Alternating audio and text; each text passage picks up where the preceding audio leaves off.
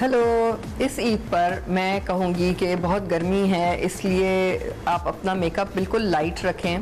Natural रखें और बाल जो हैं, वो उनका कट अच्छा हो, कलर अच्छा हो। अगर गर्मी नहीं लग रही थी इंडोर हैं, आप तो ब्लो ड्राई कराएँ अच्छा सा।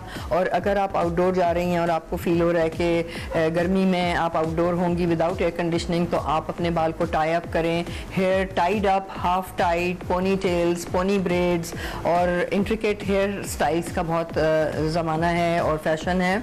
और मैं कहूँगी कि उसको आप बिल्कुल नेचुरल रखें। ऐसे नहीं लगे कि आप आप सैलों से सेट करा के आई हैं बाल, बल्कि ऐसे लगे कि आपने घर में किया है और एफर्टलेस है और बहुत नेचुरल सी उसमें लुक आए। तो hair up is a very good idea shorter hair is lovely for the summer and light makeup natural eyebrows shiny lips beautiful summery look